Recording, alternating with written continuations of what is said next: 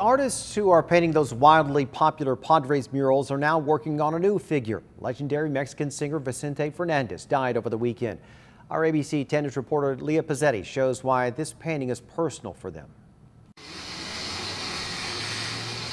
Their paintings can be found across San Diego. This is where the art show is going to be. Couple Paul and Sina have created some iconic murals around town. It always feels really good to be able to put somebody on the wall that you know the community is really going to get behind. People like Fernando Tatis Jr., Joe Musgrove, and now. This is Vicente Fernandez, and uh, he is an absolute legend. The duo had talked about painting the iconic Mexican singer for the last year. Those plans changed this last weekend. I was expecting to paint him, and I was hoping that he'd be able to see it.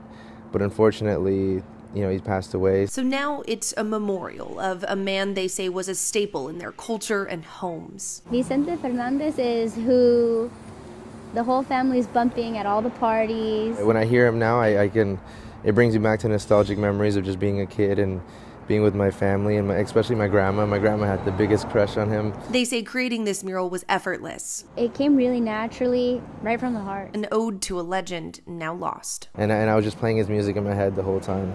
It, it was it was a it, it really felt good to be able to pay my respects this way. Paying respects in a way that everyone can now enjoy, keeping this icon's presence alive in San Diego through art. Leah Pezzetti, ABC 10 News. And they did a remarkable job. That looks fantastic. You can check on the at the uh, Vicente Fernandez mural on Imperial Avenue near 25th Street in Sherman Heights.